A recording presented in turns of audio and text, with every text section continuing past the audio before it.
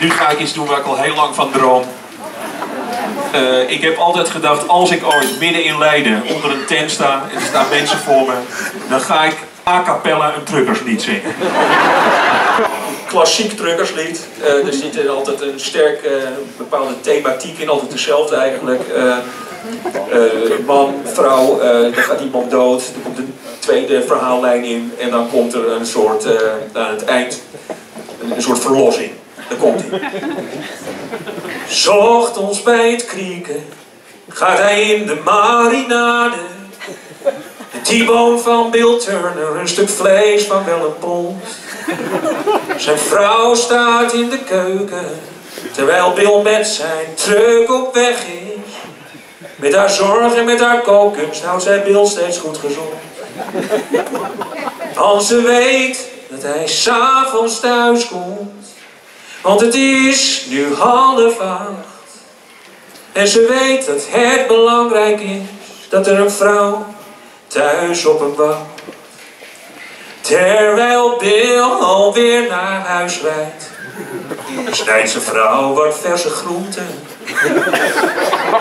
Ze zitten vol met vitamine, A, B, C, F, G en H. Het is garnering voor de T-bone die nog ligt te marineren. En in een opgangen theedoek maakt zij uitgelekte vla. Voor Bill die bijna thuis is. Want het is al kwart voor acht. En ze weet dat het belangrijk is. Dat er een vrouw thuis op hem wacht. Nu komt het tweede verhaal, hè.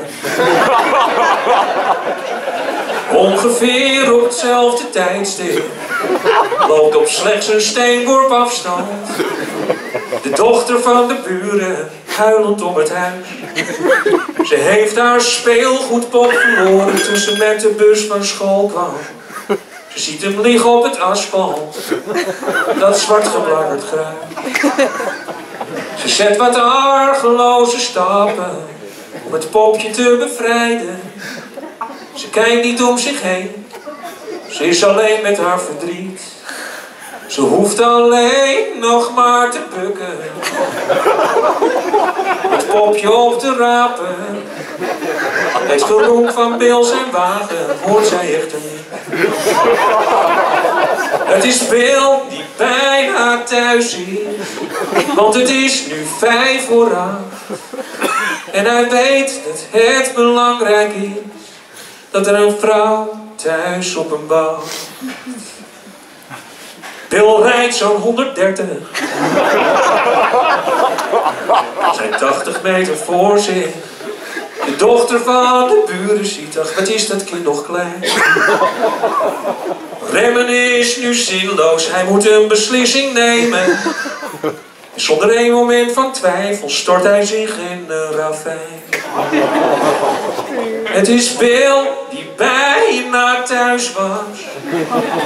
Want het is al over acht. En zijn vrouw weet dat het belangrijk is dat er een vrouw thuis op hem wacht. Epiloog. Veertien jaren later in de nacht van 5 september gebeurde er een wonder. Het doorbrak verdriet en sleur. Bij twaalf weduwen van truckers klonk er in de nacht een hamer. En hing er ons bij het krieken een T-bone aan de deur. was een geschenk van Big Bill Turner.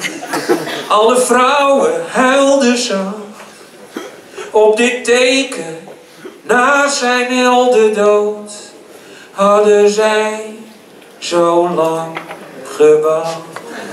Gewacht. Gewacht.